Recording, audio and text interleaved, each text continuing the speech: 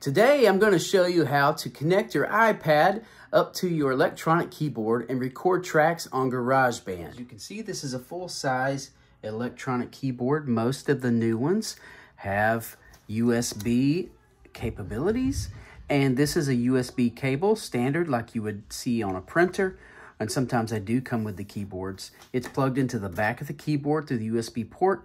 Here is the Camera Connect by Apple. You take this unit and plug it into the USB cable like so.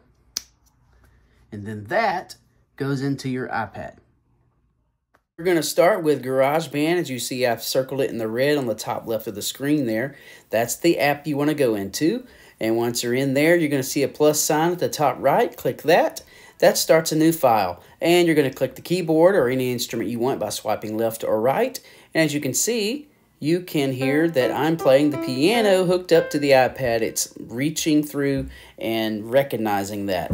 So you can click the top left grid where the piano key is up there, click it again, and it takes you back to the screen where you actually have the instrument that you're going to be playing, and that's the keyboard.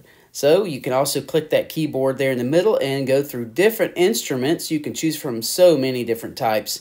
You can also play them back later as different instruments, even if you've already recorded. And now we're going to check out the plus sign on the top right. And you'll see song sections. You can do as many bars as you want or even go into automatic mode which goes unlimited.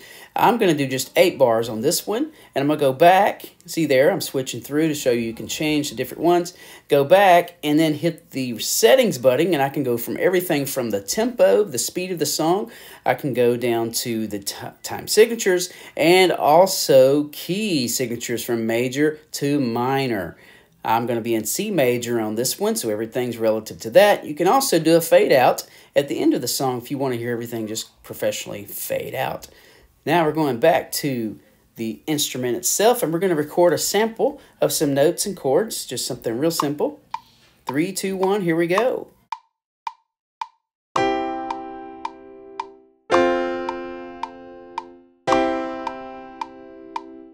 And then I'm going to hit the stop button once I'm done here. And I'm just going to show you what it looks like by hitting that top left uh, third on the option there, third from the right. You see that's the keyboard and what I just recorded in MIDI file according to GarageBand.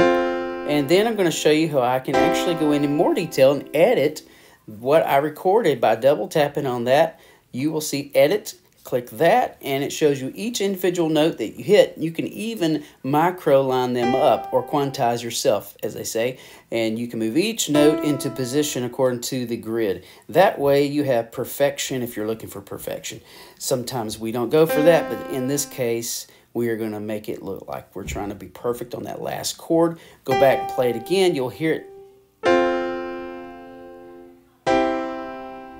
voila, lined up perfectly. And so you see the keyboard, I can change it there to a different sound. Same recording, but different sounding instrument.